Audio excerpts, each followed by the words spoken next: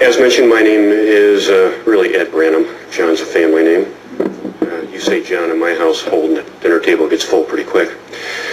Uh, both both myself and Dr. Chuck Lemmy, who are veterinarians um, that serve on the Council for Biologic and Therapeutic Agents, uh, which is one of the councils of the American Veterinary Medical Association, are uh, here this morning to uh, present what we think are recommendations that are important uh, to this aspect of the veterinary community and to uh, pets. We, as representatives of the AVMA, uh, which is the world's largest veterinary association, uh, we speak for approximately 85% of the veterinarians in our nation. The mission of the AVMA is to advance the science and the art of veterinary medicine. And as veterinarians, our utmost concern is the nation's public health as well as the health of animals, particularly those that we are entrusted to care for on a daily basis.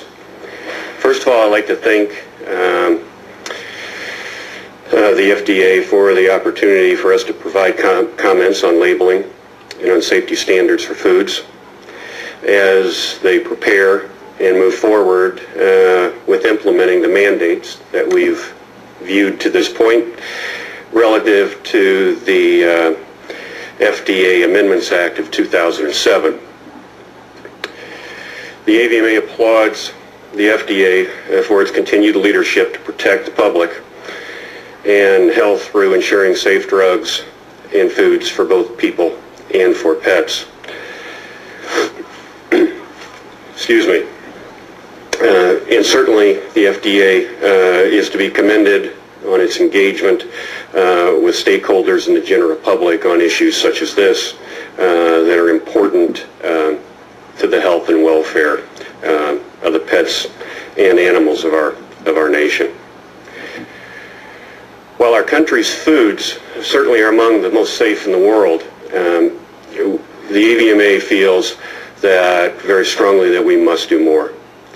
Uh, we feel that we can never forget the ingredient contamination that led to last year's pet food recall and the tragic loss of a very large number of beloved pets uh, to our na- nation's population, um, as well as the challenges that we faced and identifying and communicating in a timely and appropriate manner um, to those uh, that were both uh, affected uh, by those pet foods as, as, well as the veterinary medical professionals who were trying to treat them. Um, during this time frame, AVMA worked very diligently uh, to serve as a resource to both our profession and the public, attempting to provide them with timely information and ongoing com- communications relative to this event.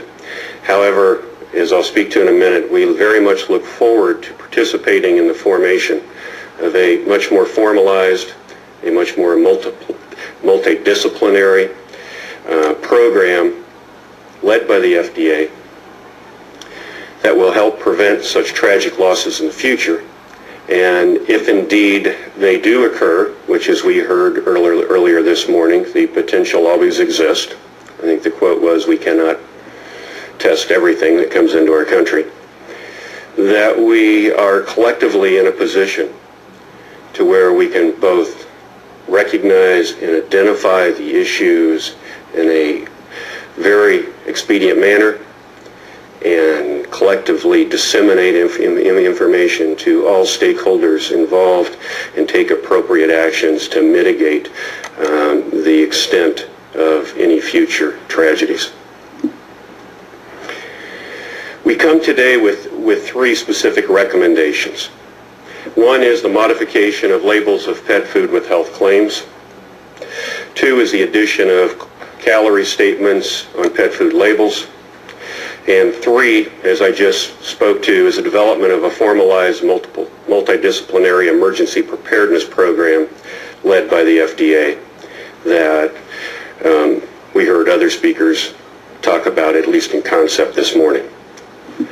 Relative to pet food health claims, this is something that has, over the last few years, become of significant concern to vet veterinarians um, both relative to the scope and, and breadth of the variety of pet foods that exist in our country today, um, and the uh, breadth of delivery mechanisms that exist of these products to the, to the public.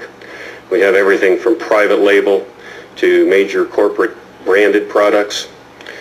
We have everything from raw and frozen and canned and semi-moist and dry, uh, on and on, that are available in the marketplace through a number of different retail outlets.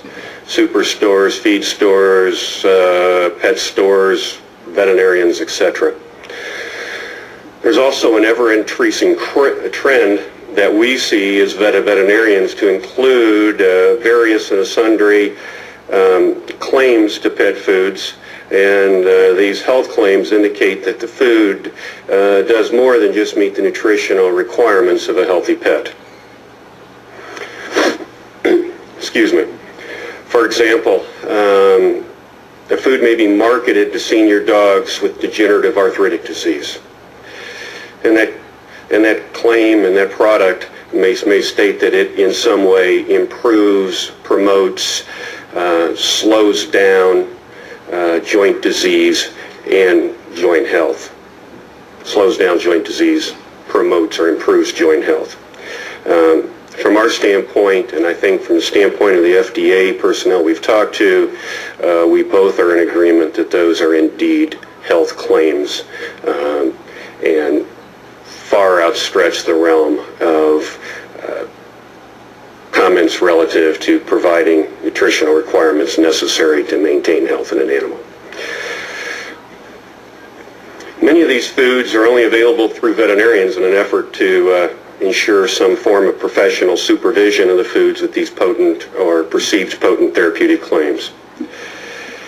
The AVMA recognizes uh, that by federal mandate, FDA regulates um, pet foods and pet food claims, but also recognizes that the FDA utilizes a significant degree of enforcement discretion in their oversight of pet foods and of pet food claims and therefore in many instances delegating the validation of pet food claims to the veterinary community, specifically clinical practicing veterinarians uh, and or specialty veterinarians or vet veterinarians involved uh, in nutritional uh, science and research.